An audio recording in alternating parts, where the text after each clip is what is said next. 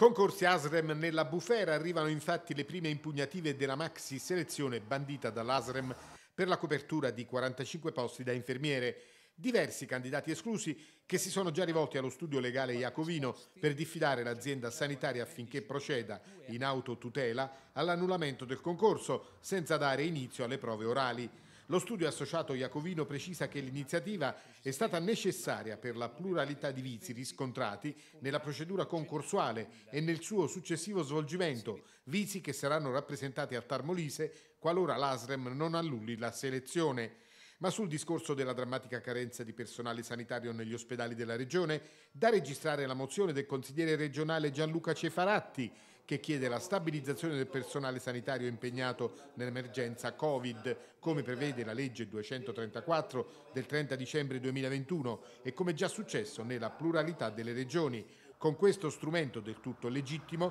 l'ASREM potrebbe risolvere immediatamente i suoi drammatici problemi di carenza nell'organico di infermieri ed OS. E sempre in Consiglio regionale Vittorio Nola è stato il primo firmatario di un'interpellanza dei 5 Stelle che chiede di fare la massima chiarezza sulle procedure concorsuali. Ci sono tanti giovani che aspirano legittimamente a un posto di lavoro e meritano la verità ma la tempesta sui concorsi dell'ASREM investe non solo la selezione per gli infermieri, sotto tiro ci sono anche i concorsi da primario. Infatti, sempre l'interpellanza dei 5 Stelle porta all'attenzione del Consiglio regionale la selezione da primario del reparto di ginecologia del Cardarelli. C'è una denuncia precisa e circostanziata che parla di procedure viziate sia nella forma che nella sostanza, meccanismi che avrebbero alterato gravemente la condizione di imparzialità e trasparenza che dovrebbe contraddistinguere l'operato dell'ASREM. Nello specifico si tratta della denuncia presentata alla magistratura da Giuseppe Laurelli, già primario di ginecologia